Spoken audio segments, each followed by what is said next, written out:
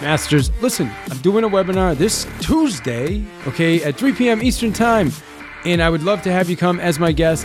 If you're interested, it's going to be on how to find the most motivated sellers. It's absolutely free. Go to Facebook and search Path to Mastery. Request to join the group. I will get you in right away. If this is after September 17th, then it's irrelevant. But if you're listening to it on the 16th, I hope you join the group. Uh, join us on that webinar. Facebook Path to Mastery. Hope to see you on the webinar. Enjoy this episode. You rock.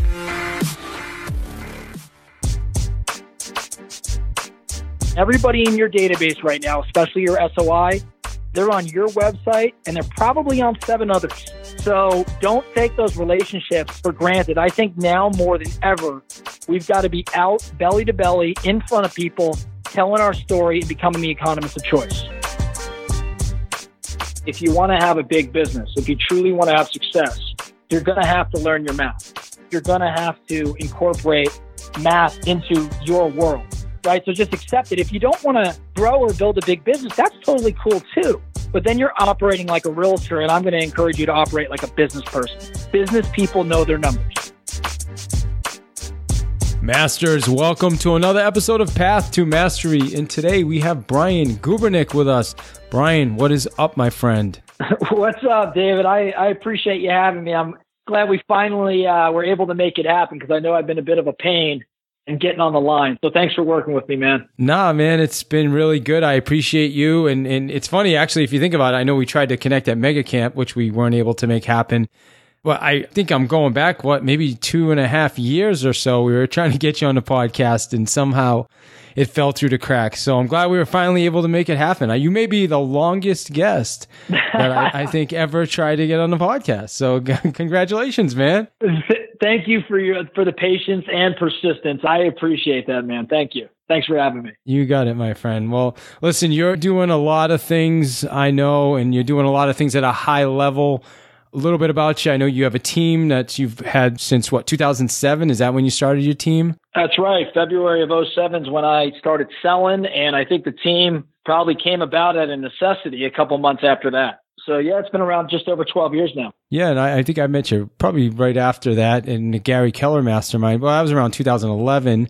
This year, you guys are going to break uh, what about 100 million in volume, and you're in multiple locations. Yeah, we should be around that. And we are in multiple locations. As a good friend of yours, Adam Hergenrother, likes to uh, recognize or acknowledge. I started in the expansion game a couple months before him, which really, you know, bothers him is that he always wants to be number one. I thought he actually was. He wasn't, huh?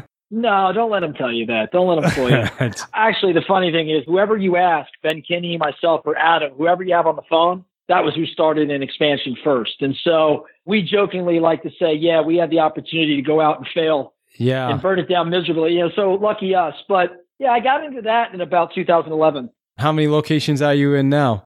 Right now, we're in Phoenix, Portland, Vegas, Oakland County, Michigan. I'm working on a Tucson project right now. And I like to be in Prescott, Arizona, of all places, because uh, it's an hour and a half up the road. So I'd like to see some more second home business being done up there. So certainly still at the forefront of what I'm working on, um, and it's important to me thinking back now, I remember when we were talking about this, I don't know, what, eight years ago, maybe.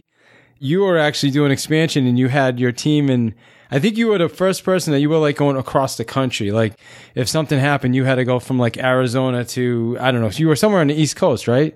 No, I, it was Seattle. And so I, I was at a distance. And the reason for that is you, you may recall when I got into expansion, it was truly out of necessity for me because my entire business, now mind you, I started selling real estate February of 07, which as you know, is the perfect time to start selling real estate in Phoenix, Arizona. Of course. so we were right in the peak or the pinnacle, I should say, of the market crash at that time, or actually it was starting to really ramp up. And mm. so my business was all short sales. And so when I went to Seattle in July 2011, believe it or not, it was to extend the life of my business model. Mm. Right. So my short sale business model, which had flourished in Phoenix, Arizona, was slowly coming to an end as the market started recovering in Phoenix. Well, Phoenix oftentimes has the luxury of being ahead of the curve when it comes to certain things in real estate. Well, distress was one of those things. And so I looked at a map and said, well, who hasn't recovered yet? Looked at a couple different cities and found myself in Seattle, having never been there before. Looked at the market stats, and I actually had a friend of mine, a real estate associate of mine up in Seattle, talking to me about short sales. And we got together, and he's like, why don't we just join forces? And so that's how I ended up expanding. It was really because my business, I had never sold traditional real estate. Oh, I didn't know that. Yeah, well, ironic. I mean, not that you'd remember this, David, but when you and I first met, I, I think I found you somewhere at Mega Camp or Family Reunion because you were you were the expired guy, you were the cold call guy, and I'm like, I've got to learn what that guy's doing because he knows traditional real estate. Remember, I had been part of thousands of real estate deals at that point. Like five of them had equity in them. So I actually knew nothing about the traditional business and I was trying to learn it in 2011, 12, and 13 when everybody else's businesses were recovering. I was actually experiencing my shift. So it was kind of ironic and funny. I actually had to learn traditional business at that point. What up, Masters? Welcome to another episode of Path to Mastery podcast. In this week, we have a phenomenal episode, as always, with Brian Gubernick. My friends, listen, Brian running a $100 million team. It's like his side gig. Literally, the guy teaches technology. He is an absolute rock star. He's got multiple teams and multiple locations, talented people, and we just have a great conversation. Uh, really, I'll be honest with you, it's kind of all over the place, and obviously that's my fault. I'm the host. Uh, but there's just so many great nuggets there. And, you know, we talk about numbers. He talks about the technology changes. He talks about how, you know, the industry shifts and we need to shift with it. Um, new iBuyer, uh, you know, programs that are out there. Just, it's a phenomenal conversation. You're going to get a ton from it. And then the numbers, how important the numbers are to our business. I'll be honest, this is an area that I, you know, I'm better now. I'm better. Uh, I still need a lot of work in numbers. Uh, you know, and for years I struggled because I was not a numbers guy. I was good at grinding, but you know, I, I, I just did not hit my full achievement because numbers. And uh, obviously, I've gotten a lot better and I and I still got a, a, long way to go, my friends. But that said, that's why it's great to have these types of conversations and and you know connect with people like Brian and really pay attention to the things that he is sharing with us. And listen, that said, I just appreciate you listening to the podcast. We have a great sponsor, which is Vulcan 7. I'm using their services again. You know, I'm, I'm doing some prospecting, kind of in between things right now. And I went back and I'm like almost like out of boredom doing some prospecting, calling FSBOs and expireds.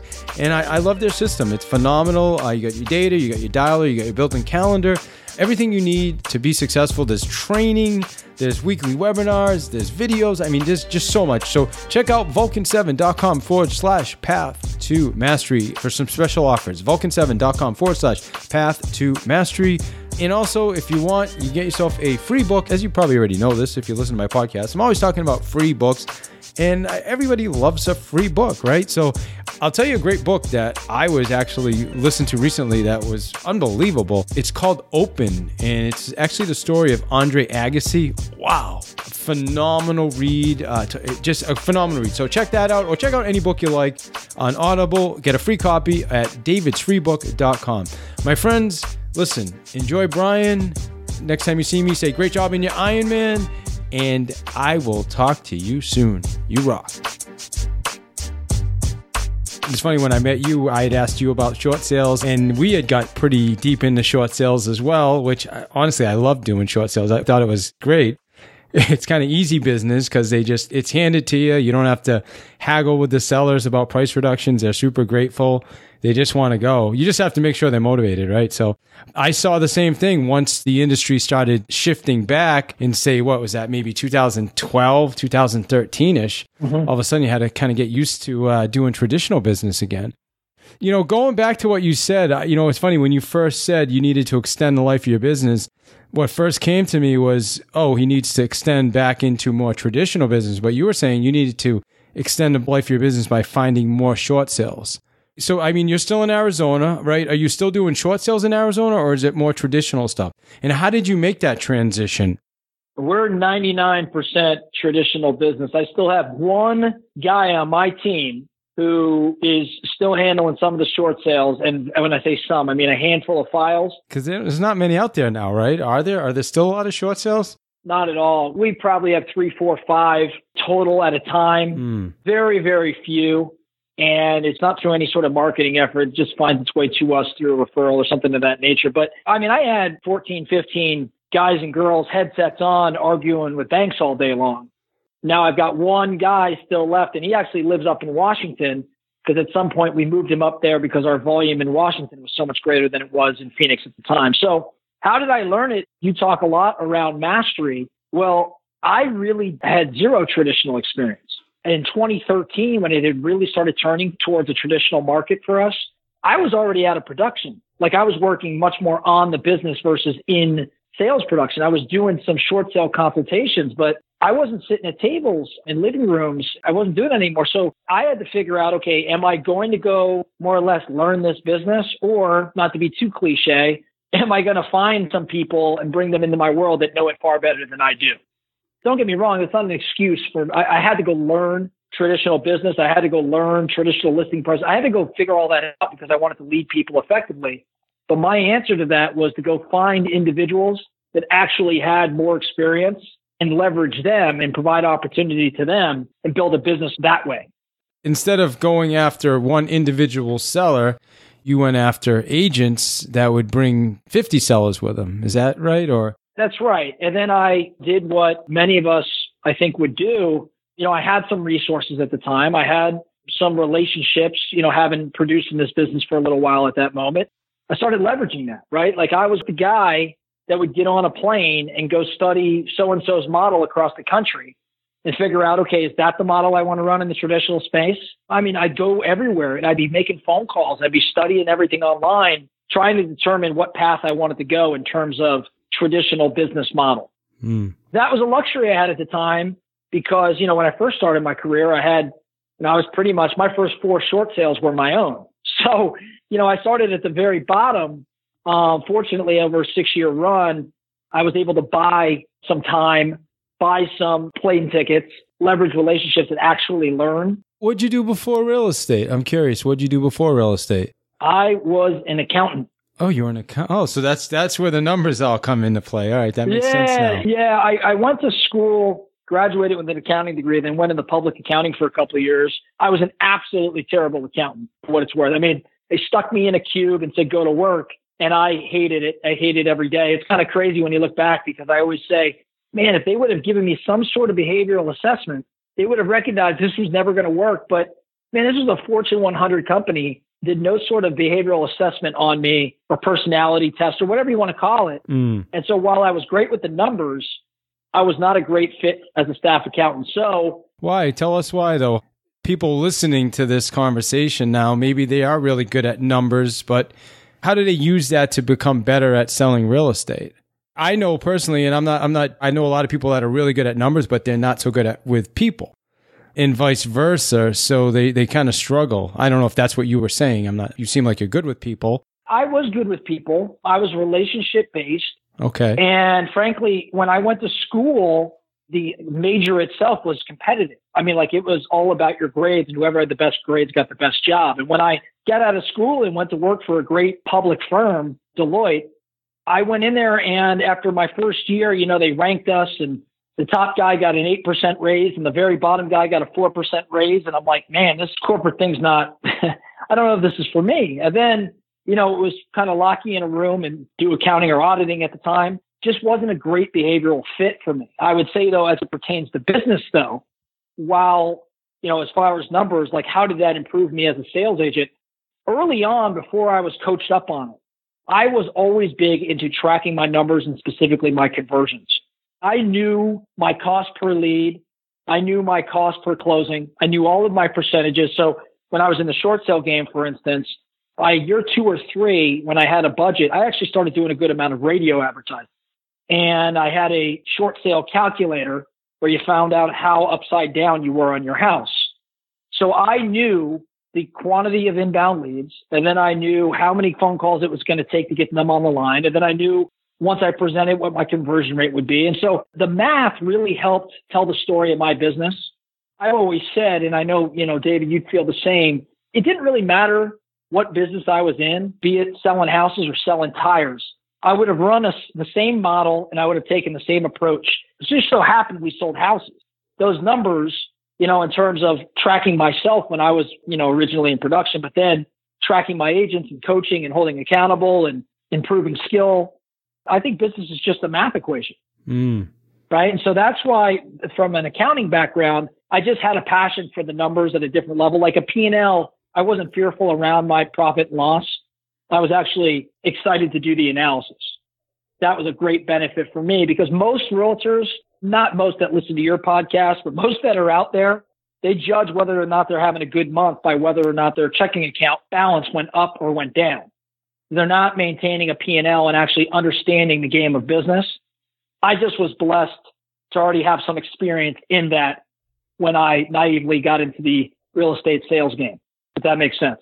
Well, it does. I mean, so it's going to make it a, a, lot easier for you to invest 10,000. I don't know what you were spending on radio, but the average agent's going to be like, there's no way I can afford to spend $10,000 a month on radio advertising. But when you understand the numbers and what you're really investing in, then you know that the return's going to be there. Oh, you're 100% right. Any method of lead generation for that matter, yeah, right? Exactly. Like if you know your numbers and you know your lead measures and you know your lag measures, right? Like I think too often we hold accountable to these results and I get it, right? We all want results, but what are all the leading measures or leading indicators to get to that result? Like how many inbound leads do I have? And then how many am I actually getting on the phone? And of those I get on the phone, how many quality conversations am I having and am I adding them to the database? You know, and then from there, appointments. And so I just was, again, fortunate that I was already intrigued by that analysis. And I felt like what I could measure, I could manage. And that's just an old Peter Drucker, father of business management mm. quote, you know, what you measure, you can manage. So that's how I landed there. That's what worked for me. All right. So, and I think that answers the question on when you said earlier, business is a math equation. Is that is that what you're referring to, or what, what exactly do you mean by that for our listeners?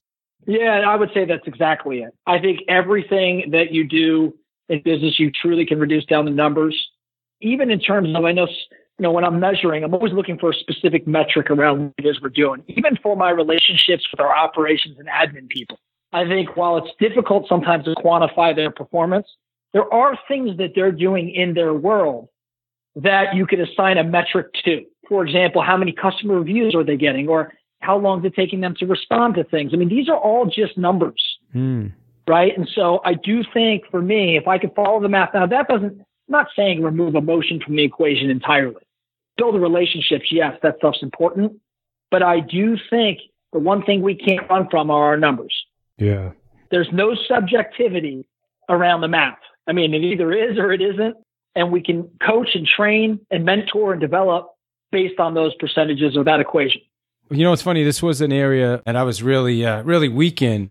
I found out, uh, you know, when I did my first AVA, I don't know what, 10 years ago, I was losing business because I was meeting with sellers that were numbers based and I would just show up and be like super optimistic and like, oh, don't worry, we're going to get the job done. We've sold, you know, 50 houses in your neighborhood. And I sold the house next door and they'd be looking at me like I was crazy because they still want to know the numbers. And that, and I learned that that was a, a big time weakness for me. So it was something I really had to focus on. So what would you say to somebody that, you know, like you, you went to school for accounting. So obviously you had those skills or inherently you were good at it. What if somebody's not tracking their numbers? They're not just not wired that way. What would you say to that person? Well, I, I would say honestly, if you want to have a big business, if you truly want to have success, you're going to have to learn your math. You're going to have to incorporate math into your world, right? So just accept it. If you don't want to grow or build a big business, that's totally cool too. But then you're operating like a realtor, and I'm going to encourage you to operate like a business person. Business people know their numbers. So how do you go about doing it? Well, number one, I think you use the old I, we, they strategy. First, you're going to start tracking. If you're in production, you got to track your own numbers. How many dials are you making? How many of those dials are you contacting, connecting with, right? And of those connections, how many are you adding into the database? And from there, how many appointments are you creating? And then how many of those appointments are you actually going on? I mean, you know the routine, David, the conversations that are being had there. Start tracking them for yourself. Start figuring out what your percentages are and use that as a baseline. Provided you're running a team or you have other agents around you, use your numbers as the baseline. Hmm. Now go present that detail to the agents on your team or in your world and compare and contrast. You might find somebody that's making all of the dials in the world, but isn't converting to, say, an ad to the database. Well, what's going on there? based on that information, I know, okay, I think we have a skill issue. And that skill is in converting this individual to a database ad.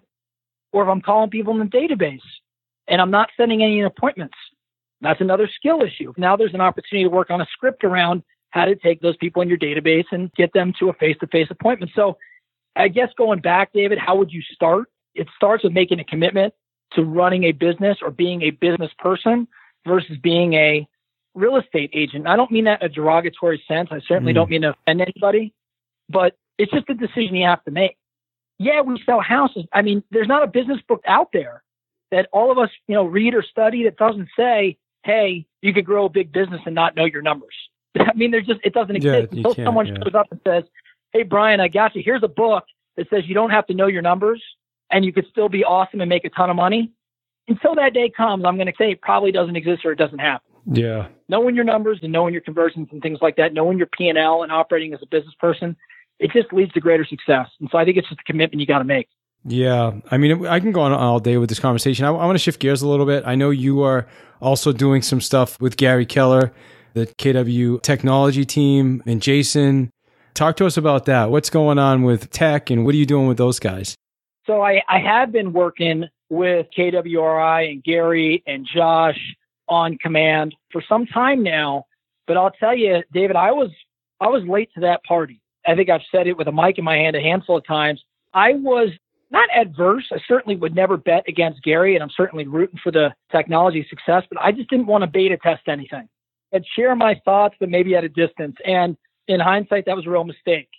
I wish I would have gotten in earlier. And so once I realized that I thought I had made a mistake and that I should have been more engaged and more involved, I made a couple calls and said, guys, I want to go the opposite way now. I want to go, I'll show up in Austin. You tell me what you need me to do. I'm in it. I want to learn it. I'm going to study it. And so I just really started learning more about command and, like I said, studying and making trips to Austin. And at some point, Keller Williams wanted to bring its team leaders and its operating principals into Austin and show them what was going on within command so they could be knowledgeable and intelligent about the product that's frankly changing the game for KW. And Gary and Josh had asked me and my coaching group, Metrics, to teach and train around it. Of course, I said yes. And then that put me on a journey to learn even more about command so I can be intelligent in front of a room. And I just poured into it, man, because I really, you know, I'm a KW guy and I am a loyalist and I'm not going anywhere. I was either going to be part of the solution and play a role or I was just going to sit on the sidelines and accept that. And I was unwilling to accept just a sideline role. Like I was, I was unwilling to accept that this industry is changing and I'm not going to be out in front of it or doing all I can to shape it. Mm. That's what happened. I mean, kind of a long winded story, but I just, I called Gary and said, I'm sorry I made a mistake. I want to be in. I want to be more on top of this. Give me this project. I'll run with it. What was the mistake? Just like not using the technology, not thinking it was important. I mean, this is great for our listeners, like because the reality is we we have a tremendous opportunity, tremendous technology platform, and I don't know you know the numbers better than me, but when I was a TL, we probably had it's embarrassing to say, but maybe ten percent of the agents were using it. I, I am hoping it's better now, but um, it, you know, there's a lot of people that are saying, well, once it's hundred percent, or once it gets here, or is that the mistake you're talking about? For me, yeah, I was just kind of sitting there, letting it come to me, as opposed to me being active with it. I know that the tool, I know that command and all that KW is rolling out gets smarter as we use it at a higher level. I was more or less allowing my future to be dictated by those around me, which isn't a terrible thing. We've got a great family at KW, but I wasn't being proactive. Instead, I was being reactive. So I'm looking at command and I'm like, man, I think that I've got some insights here. I think that I've run a pretty big business. I think that I, you know, have a hundred thousand plus people in my database and probably have some knowledge. I mean, I've worked extensively with the biggest CRMs out there, both in using them and coaching to them. And so I think I have some unique insight as to database management, CRM operation. I mean, I've prided myself as a database guy. And so I just said, you know what? I could be contributing here with nothing expected in return. I just decided I had to get active. Mm. And I did that, but I have a tendency, like many of your listeners, and you know, I don't just usually put my toe in the water. It's kind of like I'm jumping all in. Sure. That's what happened. And so just in learning it and embracing it and incorporating it into my business, I'll, David, I'll be the first one to say, man, I, It's not like I'm 100% on command right now. We're only focusing exclusively on our SOI right now. And don't get me wrong, I'm going to be into command 100% in the future.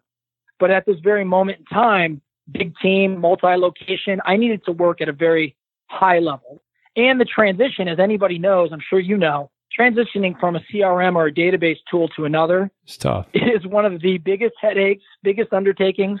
I've got to map out. It's going to take me a year to transfer. And so I've just got to be prepared to pull the trigger. I'm on the sideline at this moment about that, but I'm slowly integrating. And by the way, KW doesn't need Brian Gubernick over tomorrow. We know that it's going to be the answer of the future. Josh believes this is the long game, is the journey, it's a marathon. He doesn't need us all over tomorrow. I mean, it's crazy when you say it, but you get 4,000 users in command. Just the CRM portion becomes the largest CRM in the real estate industry. We have well over 4,000. The point is that when I started teaching that class I was talking about, David, after the very first time I taught it, Josh said, "How do you think it went?" Josh, it was terrible. it was. T- I mean, you you you saw the class. It got much better over time, and I'm like, it was terrible. I felt like nothing worked. I couldn't explain anything properly. Every time we ran something in there, the, the timing wheel would spin. I'm like, it was terrible. And he just was laughing at me. I go, Josh, what's so funny? He goes, you sales guys, you guys just don't get it. We don't need to sell this. This is a marathon. Every week, this thing's going to get better. We'll be just fine. Just stay the course. Mm. Yeah, like I think about that all the time because I felt the need to stand up in front of the room and sell command. It'll sell itself over the course of time. Again, we have 170,000 agents. We'll get there. Masters, we are going to get you right back to the show. Listen, this really helps to keep this podcast going. So please, our sponsors, Vulcan7.com for all the data you need for making phone calls, a dialer built in, a CRM built in, a calendar system. If you need data for expireds, for sale by owners, you want to pull your sphere of influence, check out Vulcan 7 for two weeks for only $49. Check out the service if you love it, keep with it. Vulcan7.com forward slash path to mastery. Listen, free books, okay? Who doesn't love a free book? If you love podcasts, you're going to love Audible. It's audio books. As a matter of fact, I would get yourself a copy of Secrets of the Millionaire Mind right now. Just go to davidsfreebook.com. Yep, they're going to ask you to sign up. But here's what you do you sign up and then you just set a reminder in your calendar. So if you don't want to stick with Audible, I don't know why you wouldn't, but if you don't want to, then just cancel before your card is ever charged. Okay, so you get again a free audiobook from Audible, davidsfreebook.com, and finally, putting together an amazing program webinar series on sales call reluctance, which starts October 3rd. Just go to listnow.us to check it out anything you need to know about limiting beliefs, about call reluctance, fear of rejection, fear of success. We're covering them all, my friends. October 3rd, check it out. Listnow.us. You rock. I do log in every day. I do my sphere of influence in there. You became proactive. Mm-hmm. So let's say that you know the people that are listening to this that don't have hundred thousand people in a database and they they don't have that connection to Gary Keller where they can, you know, start teaching it. What does being proactive look like for them? Well, number one, I think you start using it in some capacity. I think everybody should start by getting their SOI in there. Here's why I say that because I think that your SOI is most forgiving and is most interactive with you, meaning that when you put your SOI in there and you set them up on, let's just say, a neighborhood page, in the event that neighborhood page is not first, call everybody in my SOI and I would say, Hey, it's Brian. Hey, just reaching out, man. My company, Keller Williams, we just launched a brand new technology. We're really, really proud. And we've got this new neighborhood functionality that I'd like to set you up with. And I'd love to get your feedback. I'd love your input. Let me know what you think about this. Mm. Now, as crazy as this may sound, David, I wouldn't say this necessarily from stage, but as crazy as this sounds, I almost want it to not work. I want my SOI to then call me and say, Brian, this thing's not working. What's going on? Mm. Now I have another opportunity for conversation. Yeah. Oh, well, you know, like I told you, it's a beta and we're rolling it out. What didn't work for you? What did you see? What would you like to see more of? It get to create conversation. Ultimately, I know it's going to be flawless. It may not be there today, but it's going to be there Gary and Josh are just far too committed to it. I don't want to go off on a total tangent. Yeah, yeah, yeah. Just take my word for it. These guys are crazy about this. Like they are living, breathing, everything command. I, I haven't seen Gary this engaged in the 12 years I've been in, and he's been, he's always been engaged, but this is his world. This is his legacy. Yeah, no doubt. And so get your SOI in and start interacting with the neighborhoods. I would say that's number one. Number two, there's just so many social media outlets, particularly Facebook, set up for KW Command. I would say get active in there. Get active in learning and reading because everybody's kind of committed to the cause. So be active there, be active in asking questions, be active in poking holes and finding flaws or issues because I know and I've seen it personally. Every time there's an issue, everybody at KW like drops what they're doing and works on it. Every technologist at KW, they are so committed to making this product everything it's told to be. I mean, they they want this feedback, mm. and so you can be proactive and not have to fly to Austin to do it.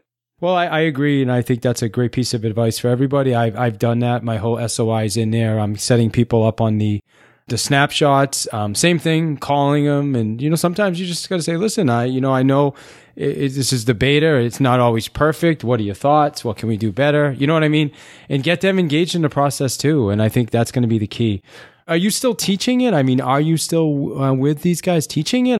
We ran eight different classes in Austin. So for the OPs and for the team leaders. Yeah, I, w- I was at one of those. Right. So that was a pretty hefty uh, two month run for me. I should have bought a place in Austin because I spent a lot of time there. Mm. My wife was glad that that tour was over. That's where my kids, at least I think they were. And then there'll probably be some more teaching and classes around command coming up here. Obviously, we had Mega Camp, and that's a massive undertaking. And so we kind of froze some of the teaching and training that I'm involved in. I'll probably be doing more Connect Live stuff. And then not to pivot entirely, David, because I know this was not the topic of conversation, but I'm pretty deeply involved with Keller Offers and that program. Hmm. That training, actually, a lot of that training I'll be helping with. Talk to us about Keller Offers for the people that don't know what that is. So, Keller Offers is Gary's answer to the iBuyer. Now, mind you, again, I'm in Phoenix. And as I mentioned earlier in this conversation, Phoenix has the luxury of being on the forefront of a number of industry related issues or topics, iBuyer, instant buyer being one. So in Phoenix, we have Open Opendoor, OfferPad, Zillow. There are top three iBuyers. And as many on this podcast know, these iBuyers are making cash offers to buy your home with the thing that's most appealing to the consumer being convenience, right? So they'll accept less money for their property because of the convenience of not having to show it, negotiate it, and do all of that. Well, Gary felt the need to respond, reluctantly got in the iBuyer space and said, if we're going to keep the agent as the center of the transaction and, and as the fiduciary for the consumer, we've got to launch our own iBuyer company that positions the agent differently than our competition. And so Keller Offers was born. Now, what was interesting was that in the course of developing Keller Offers, Gary's partner in that, Mitch, Mitch runs Keller Capital. He and Gary had concluded that in order to scale at the rate we needed to scale, the dollars, Gary could go find those dollars, as many can guess. But the logistics, the scaling of that company in order to accomplish what it needed to accomplish was massive, is massive. Hence a partnership or an affiliation that was formed with OfferPad. OfferPad's the number three in terms of volume of transaction. iBuyer number two or three, depending on the city you're in, mm. iBuyer in the space today. And so Keller Offers now has forged a relationship with OfferPad, whereas OfferPad, the back end buyer of the property, Keller Offers is the intermediary and partner in that transaction. And it is kind of a conduit between the agent, the Keller Williams agent, and the end buyer, OfferPad. Interesting. That's not around here yet. So I'm, I'm guessing it's coming though. It's not yet, but I'll tell you, OfferPad specifically has intentions to be in over 2,000 markets. Zillow specifically has said we want to purchase, acquire 60,000 homes a year. Opendoor, multi-billion dollar company. So these guys are going everywhere. Yeah. And if you don't think they're coming yeah. to your market, I got to tell you, they're already in your market, right? They're just not called iBuyers. They're called We Buy Ugly Homes, mm. or they're called the Cash Investor down the road. They're just doing it at a much, much bigger scale. And so for those that don't have it or don't believe that the big boys are going to be in their city, you know what? You may be right, but I would encourage you to become your own iBuyer. Yeah, no doubt. David, I think that for, you know, your market or other markets, like people want convenience and they want options. So I think all of us should be going into listing presentations and saying something to the effect of, okay, I can make you a cash offer on your property. It'll close in 72 hours. Now your $300,000 property, cash offer is going to be $180,000. Now recognize 99.9% of people don't buy that. However, I just want you to know that that convenience is available to you and I'll close on it in 72 hours. Then I have your 30 day cash offer. That offer is going to be, and take whatever number you want to take. Hmm. And for this, you don't have to show it. You don't have to deal with it. Somebody will buy it. Cash offer. Here it is. And then you have your retail option. And here's what that looks like. Now, break script. 98% of people end up going retail. In today's environment where people are given this convenience and given options, I think we have to honor it when we're in the living room. Yeah. I mean, I'll tell you this, David, it doesn't matter who you are. If you had a $300,000 property and somebody was willing to sell it for 180, I don't care who you are agent wise, you'll find the money for that. Finding money for great real estate deals is not challenging. It's actually finding the deal that's challenging. Yeah. Again, like I said, most people would never go for that. And that's great. But I think that we should become the provider for these options, just like Opendoor and OfferPad and Zillow and these guys are doing in the major metropolitan areas. Yeah. There are options available, and you should become the source of that, the conduit to it, as opposed to avoiding it because they're looking at it. I think we have to, or that's you know the that's the staying relevant part. If we don't, then they're gonna get accustomed to you know Zillow. I mean, the, the reality is, if you offer that to hundred people, I don't know what 90, 95 are gonna probably go retail. So what's Zillow gonna do, or, or is gonna re- refer it to one of their agents, and then just make the money that way, right?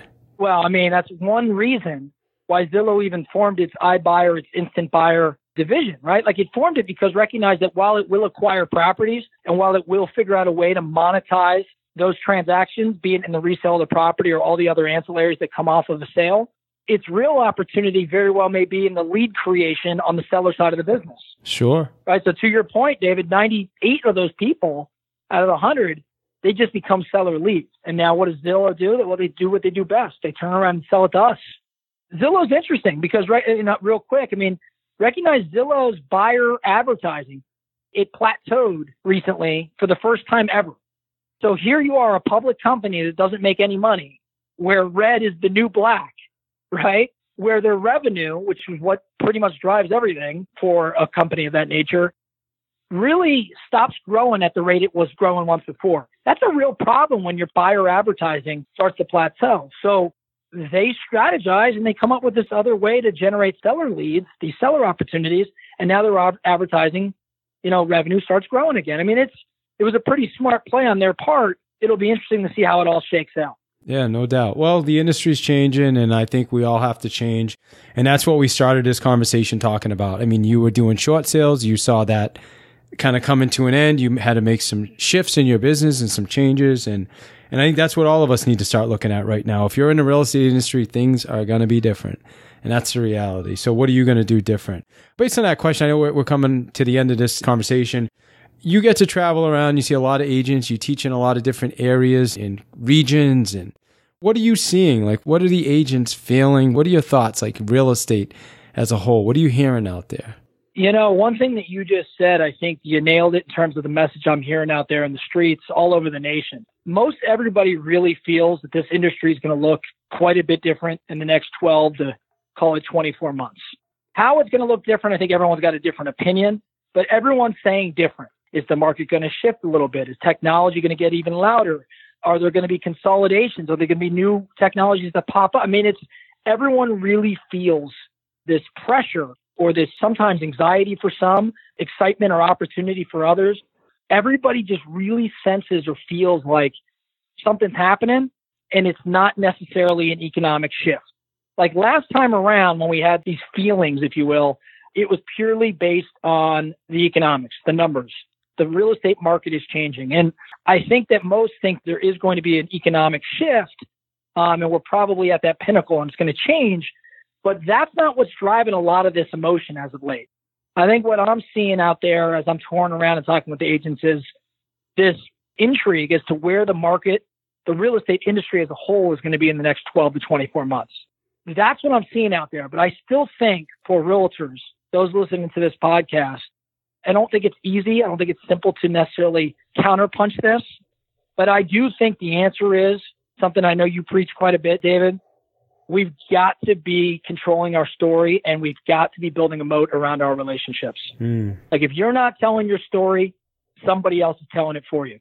And everybody in your database right now, especially your SOI, they're on your website and they're probably on seven others.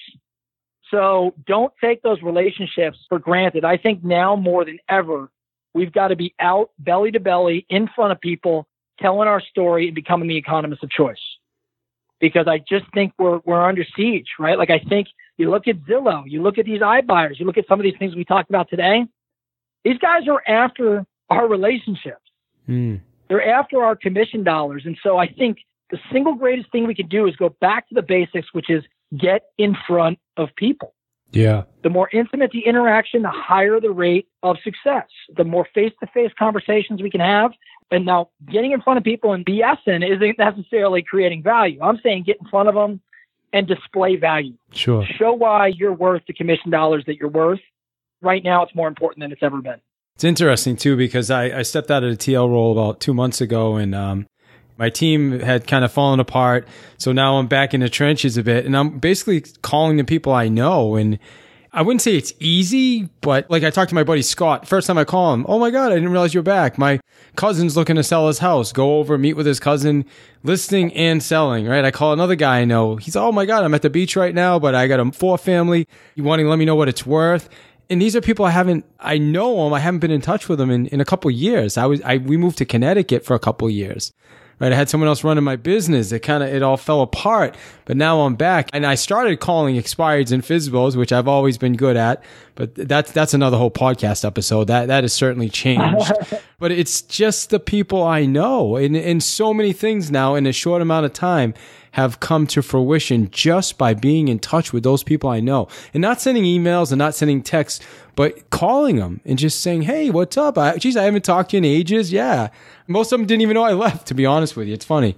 Yep, I'm with you. So listen, we, we were all over the place today. I, I, I appreciate that. I love it. I can't wait to go back and listen and get some nuggets from this. But what would you say is the biggest thing you want uh, everybody to take from this episode today? What would you even name this episode? We were all over the place. Yeah. You know what? I don't have a clue what I'd call this because we were we were all over the place. Call it everything real estate. I do think it has to be something with change though, and adapting to change. I think you had said that, I don't know, 15, 20 minutes ago. You just mentioned this change that I've experienced throughout my career. And I, I guess I never really thought about it until you said it that way. I, I think adapting to change is certainly something we all need to do in order to flourish in this business. And I would say, in order to do that, I think you just got to become a student of the game. Like if you're going to change your model or adapt to this different market or compete with technology, I would ask you, David, I would ask everyone listening, what are you studying? What are you reading? Who are you hanging out with? You know, what are you listening to? Uh, like, I think individuals listening to this podcast are probably ahead of the curve in that they're proactively listening to this and other episodes. I, I would say your growth or education based. But going back to just adapting to change, I think anytime it's worked well for me personally, it's because I, I really, really kind of dove into learning and educating and studying and figuring out who I should be spending time with and listening to and modeling and all of that. So you got to go all in though in this business if you're going to really have success. You're going to have to become a business person and not just a traditional agent and commit to it because there is so much opportunity in this industry. Even still, with all the threat and pressure we may have, there is just so much opportunity and you can go grab your unfair share. I mean, it's just out there for the taking. I love it. Yeah, it's so true. There's so much opportunity coming. And believe it or not, the simplicity right now of so much opportunity, just being able to go back and talk to the people that, that you know. That's um, right. Is, is so much gold. Listen, you have a company, Metrix. That's right. Talk to us. Give us a you know a minute on that. What's that all about? And then how do people get in touch with you if they're interested in that, or referrals or anything? So I have been spending most of my time these days in coaching and training. Our company's metrics, Metrix, M-E-T-R-I-X, and we are working with KW on a lot of different projects and things of that nature. We are coaching and training, but I would say our core product, which is called implementation, it is one to one 30 minutes, but it's a 20 week program. You probably already figured this out if you know me or listening to me today. I'm very tactics and strategy driven. I'm very numbers based. And so we spend 20 weeks building out the models and systems for a successful real estate team. So we talk around database management. We talk around ROI. We talk around performance management and accountability. Uh, we talk around recruiting and retention, but it's very, very, very specific, actionable items and not theory or mindset based presentation or coaching. Not that there's anything wrong with it. It's just not our style. And so you can email me if you like, Brian at metrixtraining.com. It's M-E-T-R-I-X. Brian at metrixtraining.com. More than happy to talk with any of uh, your listeners, David, around some of the things we do that I'm, I'm just really proud of and I'm having an awful lot of fun with. All right, man. Well, hey, just want to thank you. I appreciate it. Great stuff. I, I, like I said, I look forward to going back and listening to it, and and I just want to thank you for your time, man. It was it was phenomenal, buddy. Thank you so much. And again, thanks for being patient with me, persistent. I love what you're doing for the industry, and you've always been fantastic for it. And you're just a great guy, man. So I appreciate it. Thank you for having me. Thanks, brother. You too. You have a great rest of your day, man. You too. Masters, I just want to thank you from the bottom of my heart for listening to this episode. You know, I get it. You're ready to move on. And real quick, before you do, a couple opportunities for you. First off, I just want to, if you could give me a review, it helps tremendously for rankings as well as helping us get better guests, everything. It's just awesome. So if you could, wherever you listen to podcasts, if you're on iTunes, that's amazing. If you're using Android, wherever you listen, be phenomenal. I just really say I appreciate that. I just launched a brand new Facebook group. It's really excited to, to get this thing going. The uh, goal is every day bring inspirational stuff, videos, stuff that's not going to be accessible to everybody, certain trainings, opportunities, webinars, everything. So it's a free group, guys. Just go to Path to Mastery uh, search Path to Mastery on Facebook. You'll find a group. Request access, and I will get you in right away. I promise you. And books. I, I gosh, I talk about free books all the time. You you probably already heard me talk about free books a million times, and I know everybody loves a free book. So just go to davidsfreebook.com on Audible, uh, right? Go to David's Free Book, get yourself a copy of any of the authors that we've interviewed. I mean, why not get a free book? Uh, it, it's free, it's amazing. Uh, David'sFreeBook.com. And again, I just want to say thanks. And as you know, health and nutrition has always been number one for me. Just completed my first Ironman, guys. Lake Placid, 70.3 in the books. Uh, goal was break seven hours, did it 649.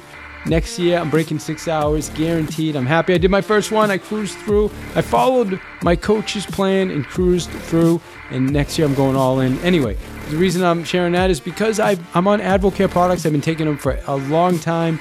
Uh, tremendous health and nutrition products. If you're interested in learning about the products, go to livelongersmarter.com. Livelongersmarter.com. You can check out the products for energy, protein, health nutrition, vitamins, anything you need is there.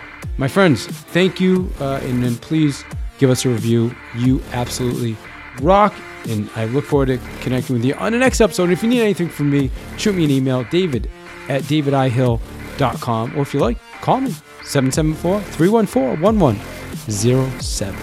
Thank you.